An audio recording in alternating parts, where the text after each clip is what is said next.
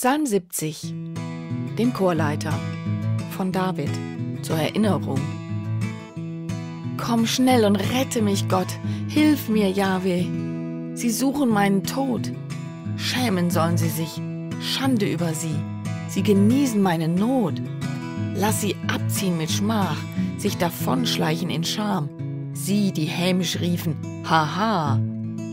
Die dich suchen, sollen jubeln und sich freuen an dir. Die dich als Retter lieben, sollen sagen, groß ist Gott. Doch ich bin elend und arm. Gott, eile zu mir.